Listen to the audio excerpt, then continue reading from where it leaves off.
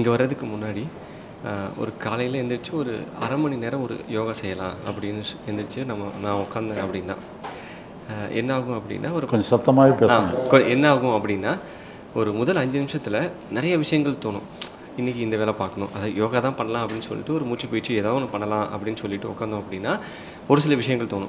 இன்றைக்கி இந்த வேலை இருக்குது நமக்கு. அப்புறம் இன்றைக்கி கரண்ட் பில் இந்த விஷயம் கரண்ட் பில் கட்டணும். இந்த மாதிரி விஷயங்கள்லாம் அது தோண ஆரம்பிக்கும். பட் இங்கே வந்து எனக்கு அந்த ஒரு விஷயம் புரிஞ்சுது.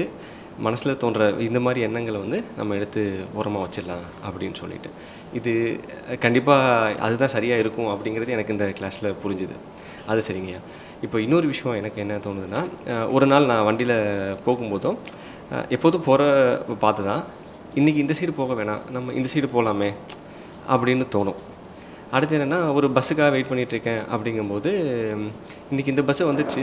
பரவாயில்ல இதில் கொஞ்சம் கூட்டமாக இருக்குது அடுத்த பஸ்ஸில் போகலாம் அப்படின்னா. ஆனால் அந்த பஸ் இதோட அதிகமாக கூட்டமாக இருக்கும். சரி அப்போ நம்ம முதலே நமக்கு தோணுச்சே அந்த விஷயங்கள் ஏன் பண்ணலை அப்படின்னு ஒரு விஷயம் வந்து தோணுது. இது எப்படிங்க எடுத்துக்கிறது? இல்லை இப்போ அதாவது நம்ம என்ன சொன்னோம்னா முடிஞ்சதெல்லாம் முடிஞ்சதாக எடுத்துக்கிடணும். முடிஞ்சதை போய் ஆராய்ச்சி பண்ணி இப்படி விட்டுட்டோமா இதை செய்யாமல் விட்டுட்டோமா நீட்டெல்லாம் யோசிக்கக்கூடாது. சரி முடிஞ்சு போச்சு. அடுத்தாப்பில் என்னங்கிறத பாருங்கள் அடுத்த பஸ்ஸு பிடிக்க முடிஞ்சுன்னா பிடிங்க இல்லைன்னா வெயிட் பண்ணணும்னா வெயிட் பண்ணுங்க. அந்த முடிஞ்சதோ முடிஞ்சதாக எடுத்துக்கிடுறது எடுத்துட்டிங்கன்னா தான் உங்களுடைய பிரயாணத்தில் தடங்கள் இருக்காது. அதனால் முடிஞ்சதெல்லாம் முடிஞ்சதாக எடுத்துட்டோன்னா தான் நீங்கள் எப்போவுமே நீங்கள் வந்து எவர் ஃப்ரெஷ்ஷாகவே இருக்கணும்.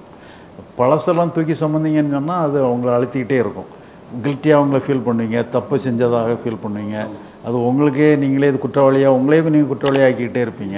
அதனால் நீங்கள் பழசெல்லாம் விட்டுட்டீங்கன்னு சொன்னால் நீங்கள் உங்களை குற்றவாளி ஆக்க மாட்டீங்க. அப்போ நீங்கள் என்ன செய்யணுமோ அதை நீங்கள் முயற்சி பண்ணி செஞ்சுட்டு இப்போ இப்போ அக- நமக்கு வேலை இல்லை அப்படிங்கிறத நம்ம வகுப்புகளை நல்லபடியாக தெரிஞ்சுக்கிட்டோம்யா இப்போ நம்ம செயல்பாடு வந்து ஃபுல்லாக நம்ம புறத்தில் தான் நம்மளோட எல்லா இதையும் நம்ம ஆக்க செயல்பாடை காமிக்கணும். இப்போ புறத்தில் செயல்பாடில் வந்து நிறைய அந்த ஒர்க்லோடு டென்ஷன் வந்து கா ஓவர்லோடு ஆகிறதே வந்து ஸ்ட்ரெஸ் ஆகிடுது அது எப்படினாலும் ஆட்டோமேட்டிக்காக நம்ம அகத்தை தானே பாதிக்குது.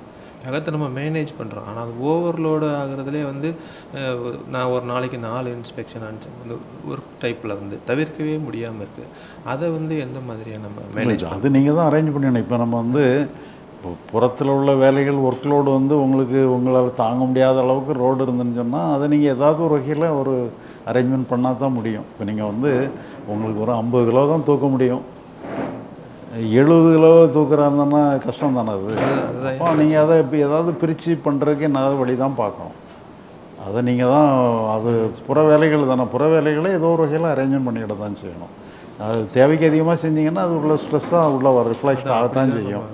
ஆனால் இப்போ மனசை பொறுத்த அளவில் நீங்கள் அதை பற்றி யோசிக்கக்கூடாது ரெண்டாவது நீங்கள் வந்து ஒரு இப்போ நீங்கள் மனசளவில் நல்லா சுதந்திரம் கொஞ்சம் உங்கள் எனர்ஜி லெவல் கூட கொஞ்சம் கூடிடும் இப்போ உங்களுக்கு எனர்ஜி லெவல் கூடிட்டினாலுமே கூட சில வேலைகள் வந்து எக்ஸ்ட்ரா வேலைகள் கூட செய்ய முடியும். அந்த அளவுக்கு கூட இப்போ நமக்கு வந்து இங்கேயும் ஒரு பாதிப்பு ஏற்பட ஏற்பட தான் அங்கேயும் வேலைகள் பாதிக்கும்.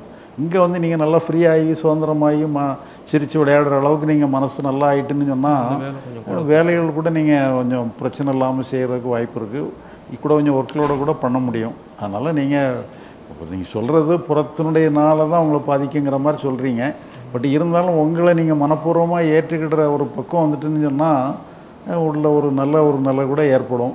அந்த நிலையில் நீங்கள் எல்லாத்தையுமே கூட எளிமையாக ஃபேஸ் பண்ணக்கூடிய ஆற்றல் கூட கிடைக்கும். ஆனால் இருந்தாலும் அந்த ஒர்க்கு அப்படி தான் மோசமான ஒர்க்கு தான் சொன்னால் அது கொஞ்சம் பிரிச்சுக்கிடுங்க. இல்லைன்னா வேறு வேலைக்கு நீங்கள் மாறுறதுக்கு முயற்சி பண்ணுங்க.